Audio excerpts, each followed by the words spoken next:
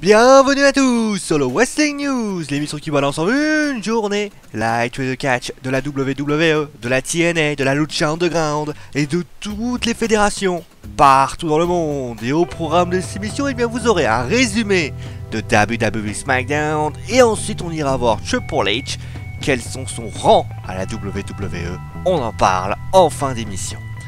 Mais débutons donc avec WWE SmackDown, c'est le résumé, et oui, et le show a débuté avec Randy Orton qui lui dit que voilà, après Wyatt, que la peur c'est cool, maintenant il en a assez, qu'il vienne sur le ring Bray Wyatt, et d'ailleurs il apparaît sur le titantron et déclare qu'il est le maître des événements et que c'est Orton qui devra le chercher. Sinon ça sera trop tard, d'ailleurs il chante sa fameuse chanson avec un sablier à ses côtés. D'ailleurs, durant tout le show, hein, il a passé son temps à essayer de le chercher, Bray Wyatt, et d'ailleurs il l'a trouvé. Hein. Ce qui est très inquiétant, c'est qu'alors qu'il était en train de, le tabasser et que finalement il était sur sa rocking chair avec un espèce de masque pour rigoler, eh bien, il y a eu des rires de Bray Wyatt qui ont un petit peu, et l'image s'est brouillée. Est-ce que ça peut être un symbole? Est-ce que tout simplement Bray Wyatt joue encore avec Randy Orton?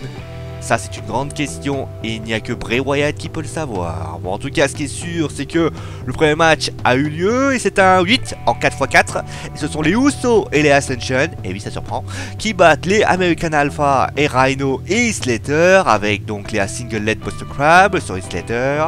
Les filles sont sorties, Nikki Bella et Naomi battent Carmela et Natalia avec un roll-up. Nous sommes, alors vous savez forcément, peut-être vous le savez pas, mais nous sommes à Cleveland. Et à Cleveland, il y a eu un homme qui était là, même deux hommes, c'était le Miz et Dolph Ziggler. Ils sont natifs de Cleveland, Ohio. Et forcément, bah, le Miz, il a critiqué, hein. il a dit voilà, vous préférez me siffler moi, mais vous ne sifflez pas un mec comme LeBron James.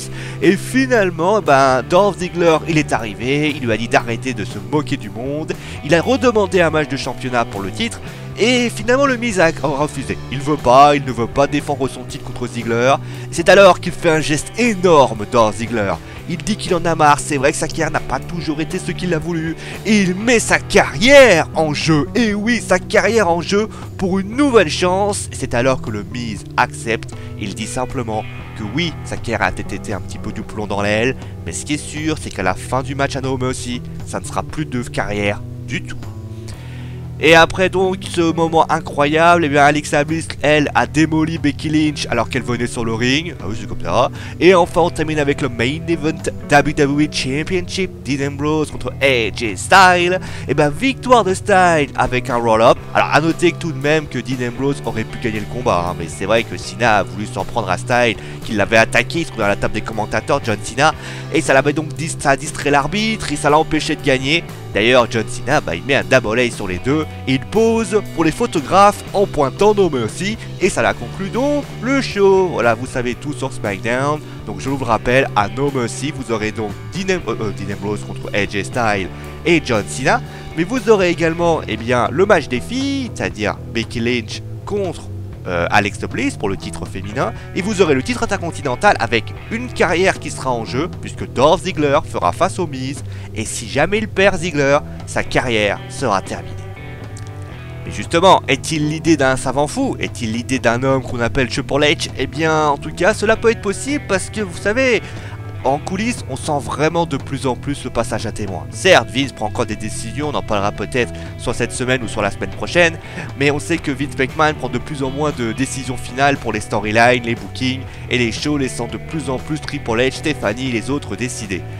Euh, la raison, est eh bien, tout simplement, c'est que bah, il a déjà il est opéré, on sait qu'il a une, grosse blessure, mais il a juste envie, eh bien, tout simplement, eh bien, de laisser la place aux jeunes, comme le fait bien sûr John Cena. Et d'ailleurs, si cela venait être vraiment officiel, eh bien cela pourrait signifier simplement une nouvelle ère qui commençait à débuter. Et je vais vous dire un truc, elle est à la fois curieuse, mais en tout cas, elle peut être vraiment très drôle. Voilà, vous savez tout. C'est la fin du Westing News. J'espère que l'émission vous a plu, bien sûr. Demain au programme, et eh bien, résumé de NXT. On parlera d'Emma. Ça fait longtemps que je devais vous en parler. Et eh bien, on en parle. Vous l'avez promis, je vous le donne. Et euh, donc voilà, vous savez tout. En tout cas, si vous avez aimé cette vidéo, bah, mettez un petit pouce vert. Si vous avez adoré cette vidéo, bah, montrez-la à vos potes. Et si jamais vous avez envie de la connaître, celle de demain, bah, tout simplement abonnez-vous et vous saurez